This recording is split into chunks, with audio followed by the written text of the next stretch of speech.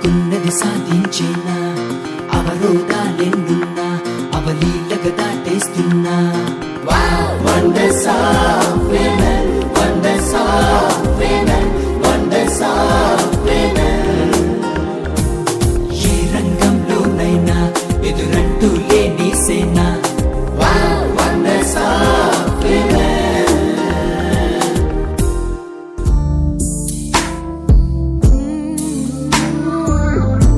అంటే నాన్న చేపట్టుకుని అట్లా క్లినిక్ వెళ్ళటం అలవాటు చేసుకున్న నాకు.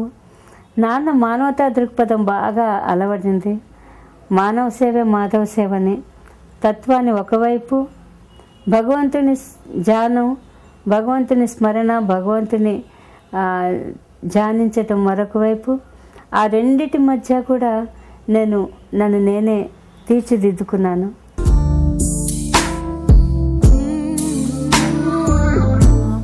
తెనాల్లో మా మారిస్పేటలో బ్రాంచ్ హై స్కూల్ అని ఉండేది అక్కడ నేను అంతకుముందే అంతకు ముందే బోర్డ్ స్కూల్ హై స్కూల్లో మొట్టమొదటి క్లాసు రాయటం కోసమని నన్ను నేను రాత పరీక్ష రాయటానికి కూర్చున్నాను.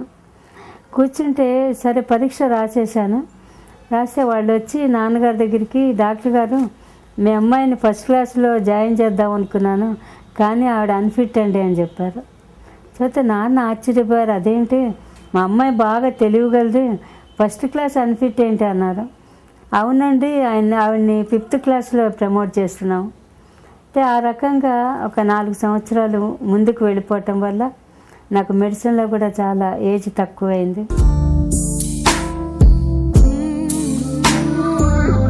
స్పెషల్ తెలుగు కానీ జనరల్ తెలుగు కానీ చదువుతుంటే అదే రాయాలో నాకు అనిపించేది కాదు. ఇదేంటి నా వర్ణాన్ని ఇట్లా చేశారు? ఇది ఇంకొక రకంగా వర్ణిస్తే ఎంత బాగుంటుందో కదా అనుకునేదాన్ని.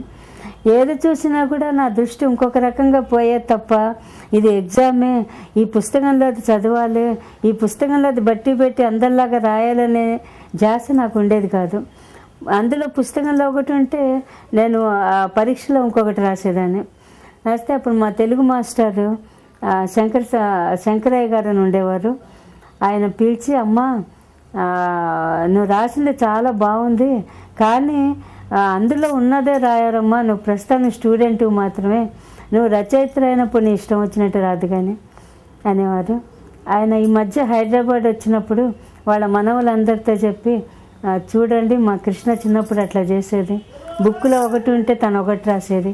అయినా కూడా తను రాసిందే బాగుందనిపించేది. అందుకే మార్క్స్ నేను బాగా వేసేవాడిని.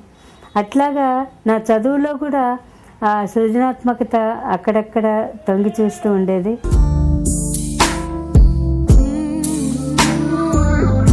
ఒకరోజు అంతా స్కూల్ అంతా హడావుడిగా ఉంది. అంటే ఏంటి ఇంత హడావుడిగా ఉందంటే అక్కిన నాగేశ్వరరావు గారు చీఫ్ గెస్ట్గా పిలిచాం ఆయన వస్తున్నారు. అందులో మీ ఇద్దరు డాన్స్ వేయాలి. అంటే సరే నేను శారద. అంటే ఏదో మాకు కాస్త చేస్తాం కాబట్టి మేమిద్దరం ముందర ఉన్నాము. స్వాగతము సుస్వాగతము.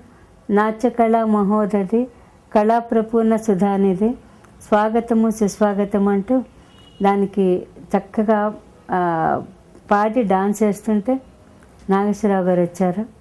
వచ్చి నా వంక అట్లాగే తదేకంగా చూస్తున్నారు. ఎందుకంటే అప్పుడు చాలా చిన్న పిల్లని ఒక ఎనిమిదేళ్ళు ఉంటాయేమో నాకు.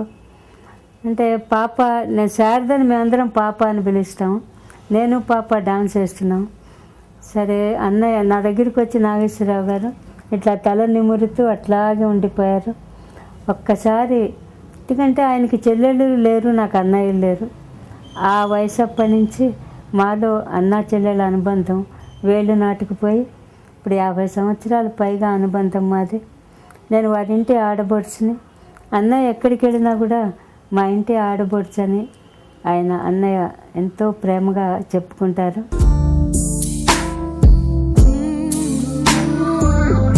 నేను ఒక నటుడుగా కాకుండా ఒక వ్యక్తిగా ఏమీ లేని వ్యక్తి అట్టడుగు స్థితిలో ఉన్న వ్యక్తి ఇటువంటి ఉన్నత శిఖరాలను ఎట్లాగా అధిగమించాడు?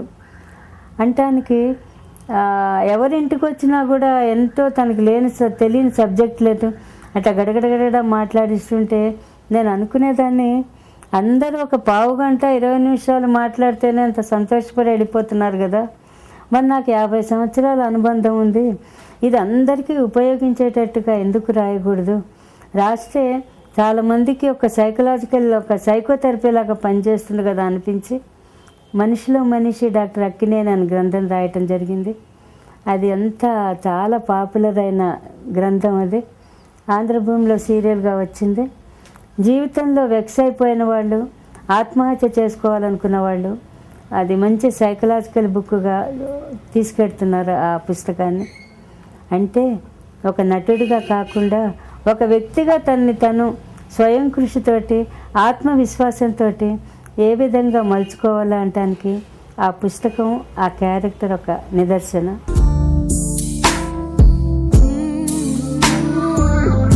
ఇప్పుడు నేను చెప్పబోయే సంఘటన అప్పట్లో అన్ని ప్రముఖ పత్రికల్లో ప్రముఖంగా వచ్చింది. సరే పడుకున్నాను. శరీరంలోంచి ప్రాణం పోయేటప్పుడు జీవి అంటే ఆత్మ వేరయ్యేటప్పుడు ఎంత నరకయాతన పడుతుందో అంత నరకయాతన అనుభవించాను అనమాట నేను పడుకునే ఉన్నాను తెలుస్తూనే ఉంది నాలోంచి నేను కూర్చున్నట్టు తెలుస్తూనే ఉంది. వెంటనే అక్కడ గజ్జల మో గజ్జలు నడుస్తున్నట్టు తర్వాత ఏమో వాసన గంటలు అవన్నీ వినిపిస్తున్నాయి నాకు.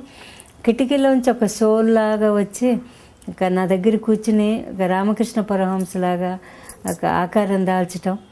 తర్వాత నన్ను ఇట్లాగా నిమురుతూ బిడ్డ అని మాట్లాడటం. నువ్వు రాయాల్సింది ఈ ప్రేమ గురించి కాదు ఇది భౌతికమైన ప్రేమ. ఈ ఈ ప్రేమ గురించి కాదు నువ్వు రాసేది. ఒక నిస్వార్థమైన ఒక అమరమైన ప్రేమ గురించి రాయాలి. విశ్వప్రేమను గురించి రాయాలి. అని అది ఆయన ఆయన గురించి శారదాదేవి గురించి చెప్తూ వచ్చారనమాట ఆ మాటల్లోనే అది మనిషికి పెళ్ళే ముఖ్యం కాదు. అది మనం నిజంగా అందరూ నా వాళ్ళే అనుకుని విశ్వప్రేమ తత్వాన్ని డెవలప్ చేసుకోవాలి. నువ్వు అంటే వేరే రకంగా నీ పందాన్ని మార్చుకోవాలి అని చెప్పటం జరిగింది.